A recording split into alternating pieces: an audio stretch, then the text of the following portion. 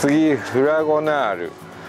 これも半つる仕立てにできる品種ですけどまあ今のところはこう木立のバラの剪定でいいかなと思います。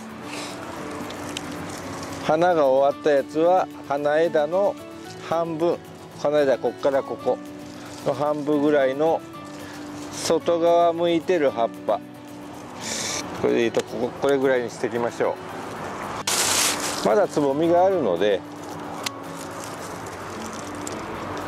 花の後のものだけ切りましょう。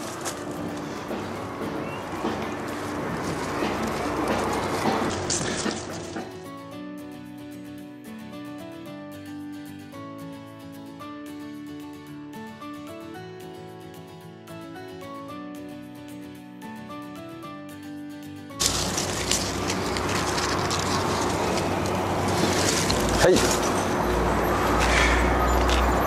こんな感じです